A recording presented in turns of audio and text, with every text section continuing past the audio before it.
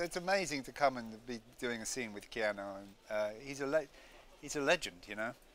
And I, it's like I was really kind of letting that in as I was coming over, and everybody was like, "Oh my God, you're going to do a film with Keanu!" And the how he's held in everybody's hearts in terms of he's like carried this.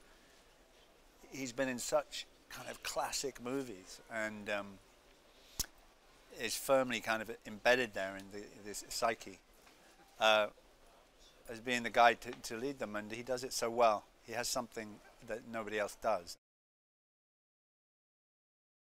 Chad Stahelski, yeah, it's been really great. He's um, he certainly gives the impression that he, he, he looks like he knows what he's doing, and he's he's got a he's got it under control, and it's such a uh, an action-based movie, and Chad really knows his stuff in that whole area, so you feel very safe. And he gives me some good acting tips as well.